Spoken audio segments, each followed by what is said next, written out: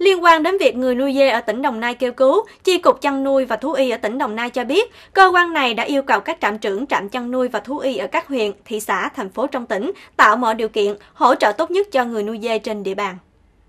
Trước đó, ngày 14 tháng 1, báo Tuổi Trẻ từng phản ánh ở tỉnh Đồng Nai, nghề chăn nuôi dê phát triển ngày càng nhiều, nhưng để đưa thịt dê vào nhà hàng quán ăn thì chỉ có cách giết mổ chui vì chưa có lò giết mổ tập trung. Sau đó, Chi cục chăn nuôi dê và thú y tỉnh Đồng Nai đã yêu cầu các đơn vị phải hướng dẫn tổ chức cá nhân có nhu cầu xây dựng cơ sở giết mổ dê đến các phòng kinh tế, nông nghiệp tại địa phương để được hỗ trợ giúp đỡ về các thủ tục thực hiện. Thông báo đến các cơ sở giết mổ gia súc tập trung trên địa bàn phải tiếp nhận giết mổ gia công dê cho người chăn nuôi dê khi có nhu cầu giết mổ thịt, tổ chức kiểm soát giết mổ, kiểm dịch, cấp giấy kiểm dịch vận chuyển tiêu thụ theo đúng quy định.